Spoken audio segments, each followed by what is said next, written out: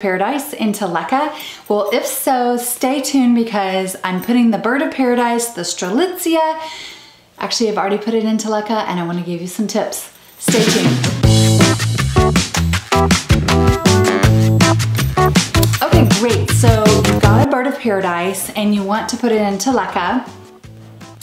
I have one in LECA and two that are buried in the graveyard. One plant today because it's kind of in its own family. I want to show you this one. See how beautiful that is? Well, it's not so beautiful on the bottom because they are kind of slow adapters. See that bottom? Let me see if we can get this one da, da, da, da, from top to bottom. Um, it does have one, two, three, three new leaves coming out. And I'm going to hold it up so you can see the little sword. See that sword? That's a new leaf. Okay, so I love these plants. Convert these to semi-hydroponics. And honestly, if I'd killed five or six, I would have still tried because I just knew in my heart of hearts, if it converted, then it would be a game changer for me. And the reason it's a game changer is because of the shape of these. They grow so nice. It's not compact, but pretty compact and just up, up, up. And you can kind of set it and forget it. Water it once a month in the LECA and they do great. One died, but it, I actually had quite a few water roots and was going to live and I put it on the balcony. And in Texas, when you put a plant outside, a house plant outside, especially a tropical one like this one, you're kind of taking your plant's life in your hands because we get 40 degree fluctuations.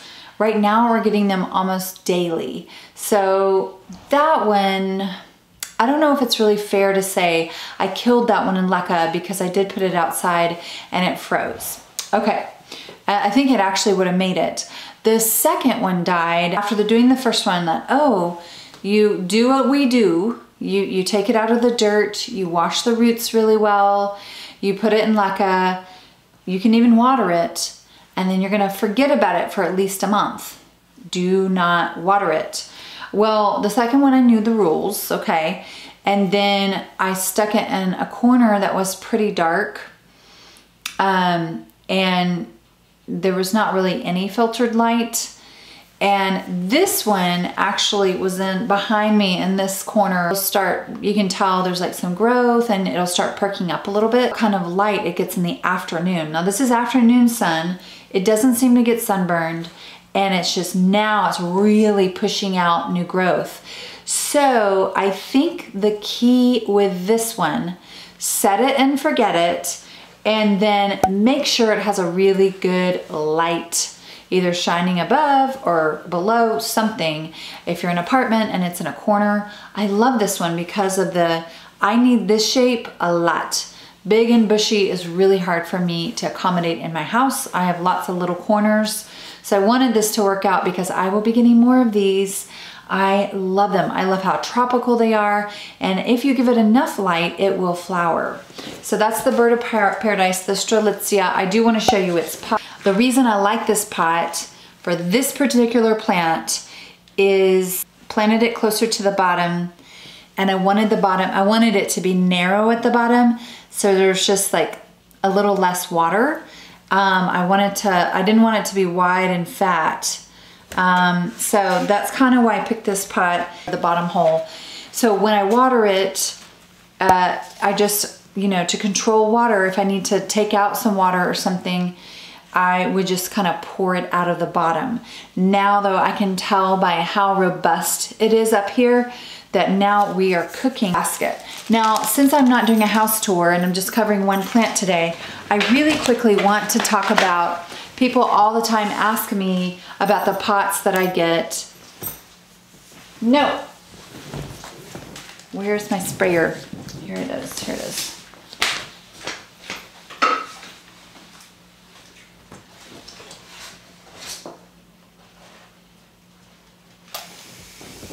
I'm watching you. He's hiding behind the curtain. That's so funny. Okay, so, all right, let's talk about pots for a second. A lot of time people ask me about my pots. Uh, you've probably noticed a lot of my pots have pop-ups. There's a long history to my pop-up pots. Um, I started with Lechuza. Lechuza is a great brand. If you watched Kaylee Ellen in the last week, she did her first plant in semi-hydroponics and she used a Lechuza planter. I love them. Aesthetically, they're gorgeous. However, they're kind of expensive. Um, Easy Gro Hydro. First of all, I am not sponsored. I should be getting a coupon for everyone, but he's so busy. We just haven't gotten to talk about the coupon thing. Um, Jerry is my friend at Easy Gro Hydro. A lot of my planty information I actually got from Jerry. He's been doing this for 30 years, um, doing this as in semi-hydroponics. He's in love with semi-hydroponics. He's a pioneer for semi-hydroponics or passive hydroponics, whatever you want to call it. He has taught me so much and that is my payment. I, to me, if I, if someone helps me grow my plants and gives me an education on growing my plants in LECA, honestly, to me, that's worth more than money. It frees me up to have more time with my children, my husband, go on vacations, and really to not worry about my plants if I'm gone for a week. So thank you to Jerry. I will link his um, information down below. Um, all right, so I'm gonna tell you the prices of my stuff because one Lechuza planter can be 25 to $40 depending on the size that you get, which is fine. You know, we all spend money on what we wanna spend money on, but if you can, save money. The other cool thing about Lechuza is they are in um, the international scene. The only really bad thing about Easy Gro Hydro is right now it's just America. We'll open it up to the international community. I think it's really important that he ships internationally. Three of these, okay? So these are the ones you always see me like pulling out. Um, this is a six inch culture pot for semi-hydroponics. Um, and the way it nests inside of, of course I don't have the outside pot, but it's flush. With Lechuza, there's actually some it, it's it's in it's inverted so see this thing on the bottom you're supposed to fill just this layer with leca and the plant touches this so you're giving the plant a nice one inch of leca kind of surrounding here but it's supposed to you know that's who told me about planting it lower and I think he's right you just want to give the plant one inch of leca and then boop roots okay um, Jerry also told me about going down a pot size and I'm finding that's crucial for your planty success. Was $2.75. Okay, and the cool thing about Jerry is you can buy his components separately. So this is these are the parts. Um, this is an outer pot. Now the outer pots are more expensive. This is $9.75, $2.75. And then this was probably $1.75 for this pop-up. Pop-up has a floater inside and it will tell you. Now, just in case you do order these, this is to be ignored. This top section, if the thing goes up in there, it's way too much water. Honestly, if I get it to go right to this little, right there at the very bottom, that's all I do for at least six months no matter what the plant is, okay? I love this one for philodendrons. A lot of them, especially climbing ones, are kind of tall. They have this kind of tall root system. And so I love the tall planter for my philodendrons. Like this one behind me, I wanna show y'all. This is the Mayoi, philodendron Mayoi. I love this one. This one, it's just this, and you can kind of lift it up. Now this one's heavier. You lift it up. Now have a bunch of water and water roots. And, um, and then right in the middle, there's a cutout in here. Now, one thing you wanna avoid is like, this is a system. You can get the floater and this for under $5. This system can go into a really cute basket. And so that's what I do with a lot of them is, you know, I just do plastic, plastic, cute basket. I rhymed. Okay, here's another one. My jewel orchid is kind of down It, this actually is a planter that just has plastic inside. It came, it's a planter and these perfectly fit. If you're not sure, when you go um, to, I, I get all of my stuff pretty much at TJ Maxx Home Goods and Jerry, okay? Sometimes Lowe's. If you're not sure, take this with you. Go to TJ Maxx and put it down inside of planters until you find one that is aesthetically pleasing and this fits nice and snug. If you put this in, in like um, a, a bottom part that's like a 10 inch, this is a five inch and you put it in a 10 inch bottom, your plant's not gonna like it because it's too much water. You don't want it swimming in the lake. You want the water to be hugging so much water. I've killed a couple plants like that where it's a cute pot, cute outside pot. I have an eight inch saucer and then I just plop this inside and it can't absorb all the water and it's just not a good symbiotic relationship.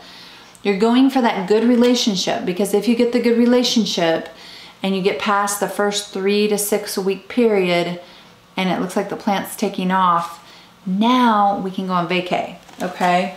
When you first start with semi-hydroponics, I feel like the pots are an issue. I start feeling a little overwhelmed by the pots and I want y'all to know what my thought process is when I'm kind of taking a plant out and putting it in a basket or, you know, how I kind of go through that. So that's Easy Gro Hydro. I've covered that. I'm putting his link down below.